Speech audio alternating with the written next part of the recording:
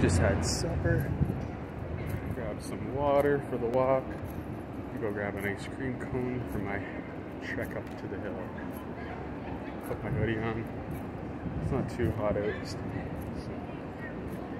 probably too hot for a hoodie, but it will get colder eventually up the hill. So better be safe than sorry.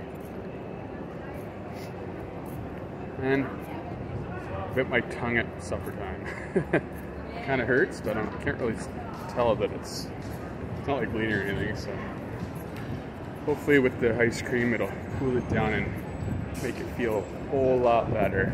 If I just dip it on my tongue, I guess licking is good enough. that should definitely help with the pain. It's not not too painful, but a little bit of a sting. Just got to be careful that I don't keep hitting it. Kind of pain in the ass and